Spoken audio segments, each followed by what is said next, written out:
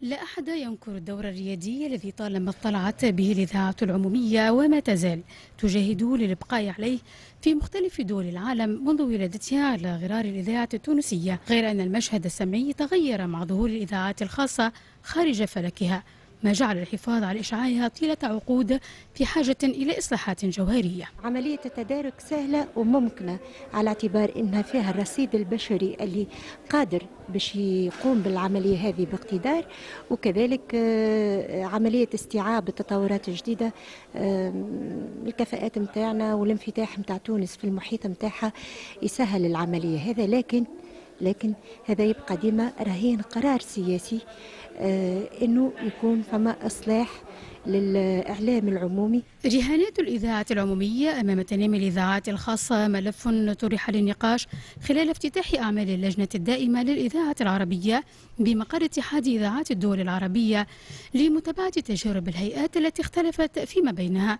من ذلك تأكيد مدير الإذاعة الأردنية عدم هيمنة الإذاعات الخاصة على المشهد السمعي في عمان. بعض المنافسة لكن هذا لا يعني أن الإذاعات العمومية فقدت بريقها على الإطلاق. الإذاعة العمومية في الأردن تحديدا وأنا أؤكد كلامي بأنها ما زالت مستمرة لا زالت تستمتع بنفس الخبرات والكفاءات. لها القدرة على آه، توجيه كل ما تراه مناسبا فيما يخدم المصلحة الوطنية وبالتالي آه، المنافسة موجودة لكن لم تتأثر الإذاعة الأردنية بها على الإطلاق. ولعل المشهد في الأردن له تشابه كبير مع إذاعات أخرى في العالم العربي غير أن الإذاعة داخل أراضي فلسطينية لها رهانات أكبر من منافسة القطاع الخاص لها وتهديده لديمومتها وهو التنكيل والتضييق الذي يواجهه الصحفي الفلسطيني من قبل قوات الاحتلال الإسرائيلي عند نقله للخبر الإعلام الرسمي أو الخاص في فلسطين يتعرض لمضايقات من قبل قوات الاحتلال الإسرائيلي سواء في التغطيات الخاصة. قبل نحو أسبوع هناك عدد من المراسلين أصيبوا برصاص جيش الاحتلال خلال اقتحامهم مدينة نابلس.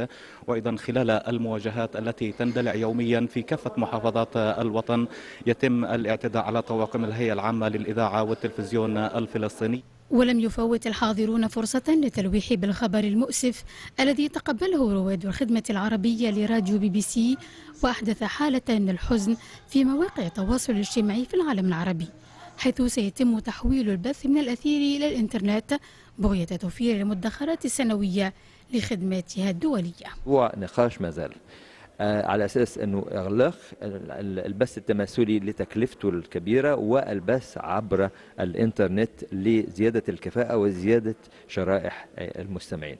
والحقيقة كما ذكرت وكما ربما عرضنا للمقطع مسرحيه المشاغبين البي بي سي أنها مرتبطة بالتأكيد في وجدان المستمع في العربي والمستمع العالمي بصفة عامة 84 عام من البث آه، كإذاعات موجهة.